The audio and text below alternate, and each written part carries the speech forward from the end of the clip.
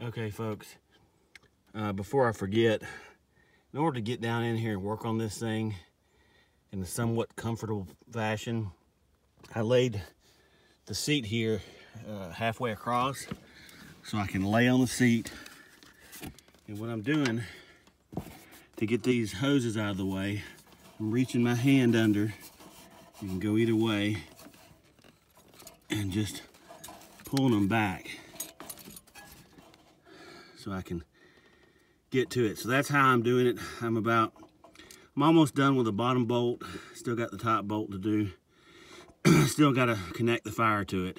But anyway, before I forget, I wanted to show you all that so you can, uh, it's a lot easier to deal with.